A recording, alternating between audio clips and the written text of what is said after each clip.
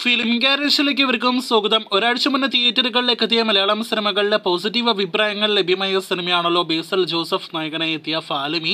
ചിത്രം തിയേറ്ററുകളിൽ വിജയിച്ചോ വിജയിക്കുമോ അതല്ലെങ്കിൽ സിനിമയുടെ കളക്ഷൻ എത്ര തുടങ്ങിയ ഒരുപാട് ചോദ്യങ്ങൾ വരുന്നുണ്ട്. ഇപ്പോഴത്തെ ഫാലിമിയുടെ കളക്ഷനെ കുറിച്ചും അതോടൊപ്പം തന്നെ സിനിമയുടെ ബഡ്ജറ്റുമായി ബന്ധപ്പെട്ട ക്ലാരിഫിക്കേഷൻ എല്ലാം തന്നെ പുറത്തു വന്നിരിക്കുകയാണ്. ഈ സിനിമയിലെ ആദിത്യ നായകൻ ആന്റണി വർഗീസ് ആയിരുന്നുവെന്നും അദ്ദേഹം സിനിമയിൽ നിന്നും പിന്മാറിയതോടെയാണ് ജൂഡ് ആന്റണി ആന്റണി വർഗീസ് വിവാദമെല്ലാം തന്നെ ഈ വർഷം നേരത്തെ ഉണ്ടായിരുന്നത്. അപ്പോൾ ആൻഡ്രോയിഡ് വർഗീസ് ഉണ്ടായിരുന്ന സമയത്തും സിനിമയ്ക്ക് അത്യാവശ്യം എക്സ്പെൻസ് എല്ലാം തന്നെ വന്നിട്ടുണ്ട്. ആ ബഡ്ജറ്റ് കൂടി കൂട്ടിച്ചേർത്ത് ഏകദേശം ഏഴ് കോടി അമ്പത് ലക്ഷത്തോളം രൂപയാണ് ഫാലിമിയുടെ ഇപ്പോഴത്തെ ബഡ്ജറ്റ് എന്നും സിനിമയ്ക്ക് വേണ്ടി ആദ്യമായിട്ട് തന്റെ കരിയറിലെ ബേസിൽ ജോസഫ് ഒരു കോടി പ്രതിഫലം വാങ്ങിച്ചു എന്നൊരു റിപ്പോർട്ടാണ് അവസാനമായിട്ട് പുറത്തു വന്നിരിക്കുന്നത്. ഇനി കളക്ഷനിലേക്ക് വരികയാണെങ്കിൽ ഒരാഴ്ച കൊണ്ട് കേരളത്തിൽ നിന്നും നാല് കോടി അമ്പത് ലക്ഷത്തോളം രൂപ സിനിമ ഗ്രോസ് കളക്ഷൻ നേടിയെടുത്തിരിക്കുകയാണ്. ഇട ദിവസങ്ങളിൽ പോലും പ്രതിദിനം അൻപത് ലക്ഷം സിനിമയ്ക്ക് കേരളത്തിൽ ഗ്രോസ് കളക്ഷൻ ഉണ്ട് എന്ന് പ്രത്യേകം എടുത്ത് പറയട്ടെ.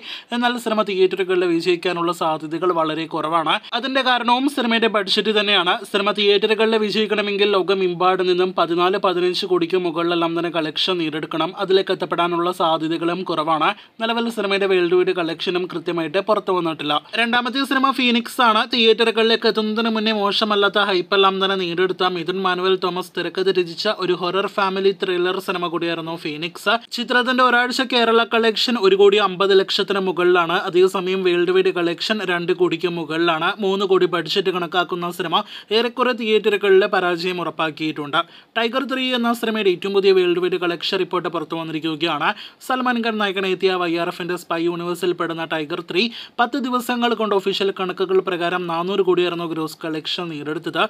ഇപ്പോഴത്തെ പന്ത്രണ്ട് ദിവസത്തെ കണക്കുകൾ പുറത്തു വരുമ്പോൾ നാനൂറ്റി പതിനെട്ട് കോടിയാണ് സിനിമയുടെ വേൾഡ് വൈഡ് കളക്ഷൻ. കഴിഞ്ഞ രണ്ട് ദിവസങ്ങളിലും സിനിമയുടെ കളക്ഷൻ വേൾഡ് വൈഡ് ആദ്യമായിട്ട് പത്ത് കോടിയിൽ നിന്നും താഴേക്ക് പൊരിക്കുകയാണ് ഈ വരുന്ന ശനി ഞായർ ദിവസങ്ങളിൽ ഇനിയും മികച്ച കളക്ഷൻ നാം പ്രതീക്ഷിക്കുന്നുണ്ട്. അടുത്ത ആഴ്ച അനിമൽ എത്തുന്നതിന് മുന്നേ സിനിമയുടെ വേൾഡ് വൈഡ് കളക്ഷൻ അഞ്ഞൂറ് കോടി കടക്കുമെന്ന് നമുക്ക് പ്രതീക്ഷിക്കാം. ഗരുഡന്റെ ഏറ്റവും പുതിയ Kerala world wide collection report പുറത്തു വന്നിരിക്കുകയാണ്. സുരേഷ് ഗോപിയുടെ ഏറ്റവും പുതിയ തിയേറ്ററുകളിൽ വിജയിച്ച അതോടൊപ്പം തന്നെ നവംബർ മാസത്തിലെ ഏറ്റവും കൂടുതൽ കളക്ഷൻ നേടിയെടുത്ത മലയാളം സിനിമയാണല്ലോ ഗരുഡൻ.